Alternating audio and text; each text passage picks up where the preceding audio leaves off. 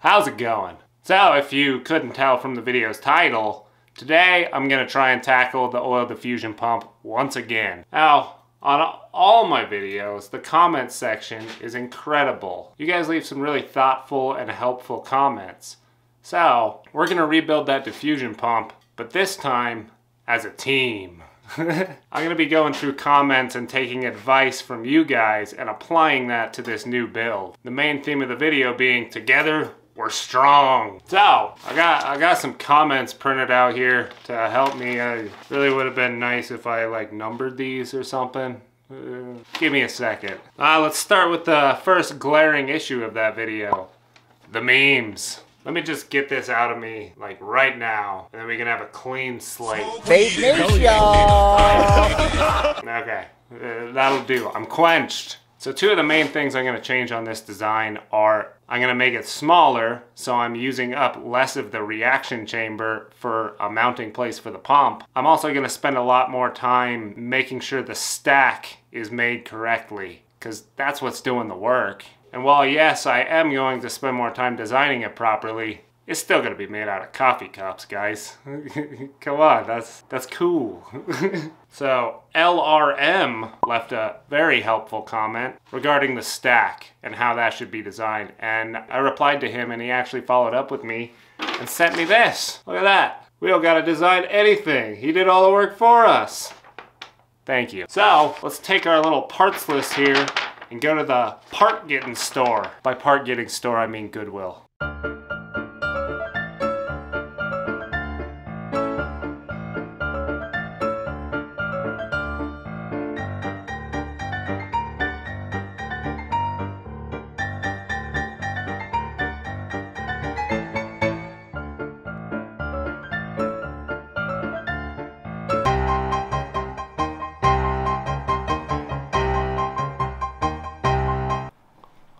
So profane. So once again, I did my little magpie routine and I've gotten some stuff. I don't think this is everything, but it's enough to get started. So I'm gonna start cutting this stuff up and I'll show you how the final assembly goes together.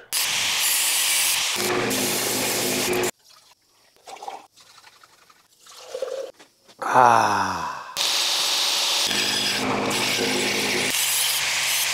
Ta-da! As you can see, I've sorted through, cut, cleaned and deburred all the parts that I'm gonna need for this thing. So what you see here is the pump, minus the outlet. So this is how the stack is gonna go together. I wanted to try and copy the geometry on the plan a little better. It's difficult when you're making it out of cocktail shakers. But similar to the plan, this guy is gonna be shooting just a little bit off of the edge of this guy and this guy is shooting right down on top of this guy which that follows it pretty well the only difference is this but these parts just fit together so well, I just had to do it this way. So we're gonna run with this for now, and I'm gonna make it so that this stack is removable. So if we find that it's not working, I don't have to rebuild the whole pump. I'll just reconfigure the stack and see if it makes a difference. Now on the drawing, you can see on the inside of these jets, there's just holes drilled around it. And I like that. It'll make it much easier for a match precipitation rate all around the radius of this thing. So, let's get some holes drilled in these guys. Holes are drilled, parts are cut, we're ready to start putting this thing together. Now, this may surprise you, but I really did not enjoy TIG welding all of that together in the last video. And it creates a problem that I didn't even know about until you guys brought it up to me. Virtual leaks. Virtual leaks are cavities which are extremely porous and have high surface area for absorbed chemicals to slowly desorb. Is that a word? Fouling any chance of getting to a high vacuum in a reasonable time i.e. it could take months or years because the outgassing rate is so slow. So, I'm not gonna TIG weld this. We need to come up with another way to fuse these parts together. Here goes nothing. Wait, that's a better idea. I'm gonna braze these parts together. So brazing these parts together, I'm gonna have to be very careful to keep them all concentric. I don't know if you remember that last stack I built. It was anything but concentric. Uh, what's the opposite of concentric? Procentric? I have an idea to keep the stack itself concentric, but no idea how I'm gonna get the cones on there properly. So I'm just gonna fit these parts as close as I can using my uh, laser eyeballs and then throw the part in the lathe and use that to fix any amount of slop that we end up with. That was harder than I thought it was gonna be.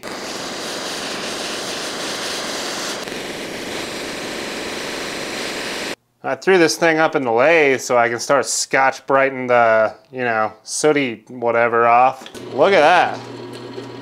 You know, that amount of wobble for eyeballing it, I'll take that, man. So I wasn't happy with the way that this was pointing. If you look at the picture, this stage is supposed to be pointing right at the outlet port, just about. So I went ahead and I soldered another ring in on there, and I think that gets it a little bit more faithful to the drawing. Now then, for our fourth stage, in the drawing, it's actually a separate chamber from this. So I'm gonna stick this guy on here. Oh, that went on way easier earlier. Hold on. With this stage, this will be pointing directly at our outlet port on the outside of the chamber, and then these holes are just to let the oil flow back down into the bottom. So, I already know this is gonna waste a lot of solder. Let's get it over with. I'd like the outer chamber to be nice and long to support this ridiculous size stack that I've built. So I got a coffee cup and a cocktail shaker. Ploop! Gotta braze them together just like this. we can go ahead and stick the stack in here. And I want this thing to be removable, but also I want it to be perfectly centered every time we install it. So I'm just gonna stick this little bar on top and make a little catch system. That'll do. So I've gone ahead and bent up two little parts like this, and these will act, ah, oh, shit. You know what, let me just solder it and then I'll show you.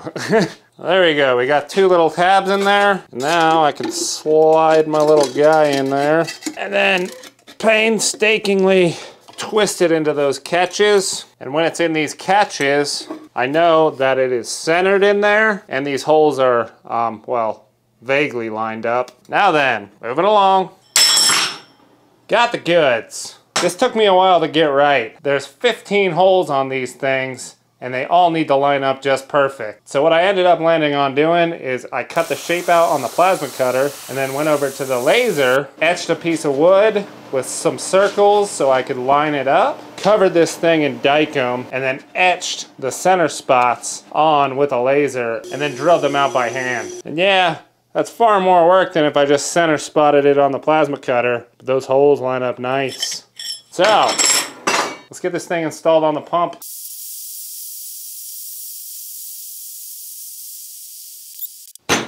Right, through the magic of video editing, it's a week later and my pump body is a toilet brush. What happened? So if you didn't notice the liberal amount of solder I was using in that last shot, I ran out of solder. So having learned nothing from last time, I decided, oh, I'll just weld this part. And you know, of course, blew holes in it, didn't want to patch them up because of the virtual leaks we've learned about. So I ordered some new solder, waited for it to come, and then built this little monstrosity. Now, didn't learn too much, I still welded the bottom, but I did back purge, as you guys suggested, and it went pretty well. Now for the outlet port of this thing, I'm just gonna build it just the same using plumbing parts. And this, I am also not gonna braze. I'm gonna weld this because it's thicker. It's easy.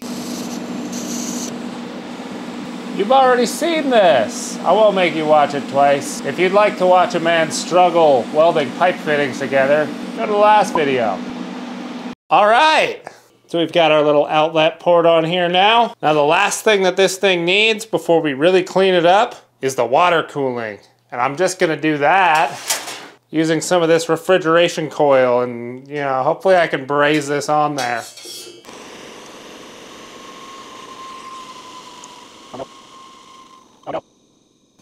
We're screwed, guys. We're screwed. Listen to that pathetic little whimper. I'm out of MAPP gas in the middle of what seems to be a gas shortage. So Uh, I'm gonna scour every corner of this shop and the truck and cross my little fingies. I found some. Just had to go um, liberate it from a friend's truck. I'll pay you back, man.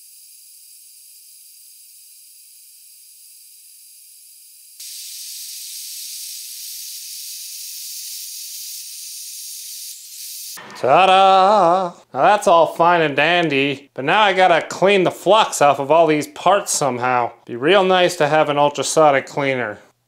Hmm. So, um, I've ratchet strapped a vibratory sander to the side of a bucket.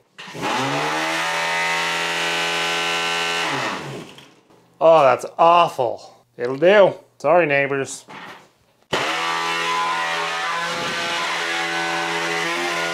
Oh, I threw some dish soap in there to help it along a little bit, but look at that. That is some dirty water. I think this actually did something.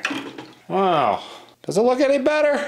I can't tell. Well, there's definitely still going to be some hand work to do, but at least I think that must have gotten most of the flux off. Oh my god, there's water dripping everywhere. Ta-da! So I got all of these reasonably-ish cleaned up. I kind of wish that I had enough solder to solder this all the way around. One, for better heat transfer. Two, it, I think it looked cleaner than these stupid little tacks, but whatever. It's all good. So, the last thing that we got to do before testing this is to make a baffle. And rather than our little cheaty peaty baffle that I made last time, I'm to make this thing proper. And I will be making it out of aluminum as it's much easier to machine. And as some of you have suggested, I'll be making it water cooled. So the only chunk of aluminum that I have that's big enough for this is way too big. So I'm gonna have to machine nearly an inch off of this thing. Wasteful. Oh, and look, somebody used it to whack something with a hammer. So that's, that's nice too.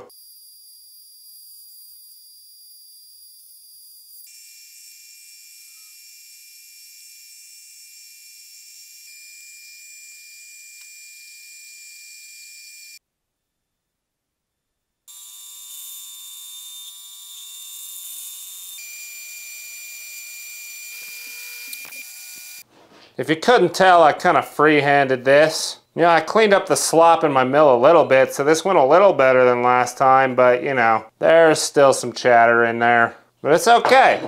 This is workable. This monstrosity is the channel for the water, and I'm just gonna go through and cap it with little pieces of aluminum and then machine the face smooth again. Also, to get rid of this little hole and have a little bit more overhang, I've got these pieces that I'm just gonna weld in place in there. So, top to it.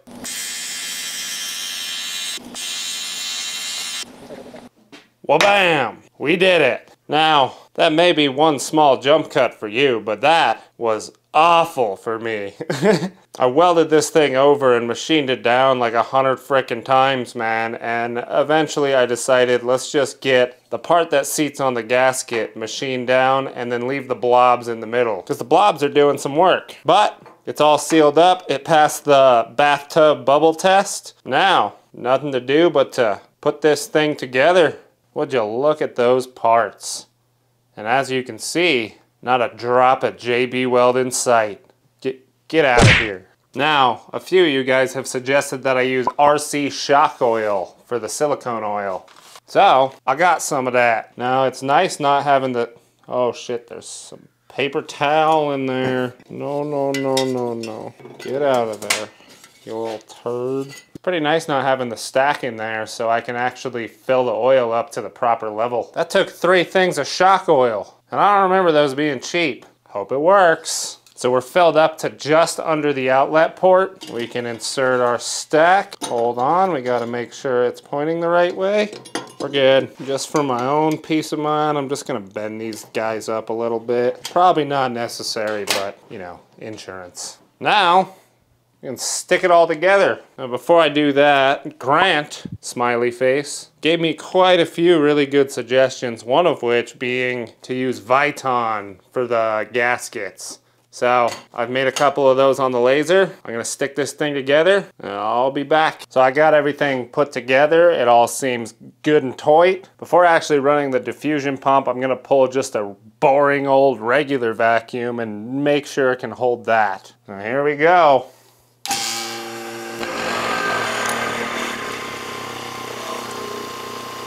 Look at that, it's dive bombing quick. That is quicker than the last revision did. All right, pumps off, fingers are crossed. And I'm gonna let that sit for a while. Look at that. I've let this sit for maybe 10 minutes or so and it's still holding at 270 microns, which is superb, man. Now, Grant, in his comment full of good advice, also suggested that I use helium and just spray it around the thing and you know it'll be easy to detect a leak that way which is smart because helium is a smaller particle so it'll be able to get through leaks much easier by that logic hydrogen will work even better I don't mind the candle it kind of started smelling funny in here but let's let's turn that hydrogen on Okay, I was joking. I don't have hydrogen. I'll turn the helium on though. All right, cracked my helium. Give her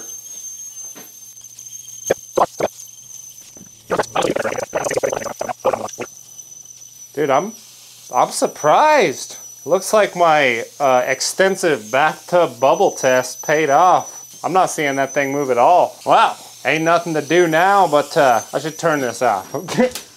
ain't nothing to do now but to actually give it a proper test.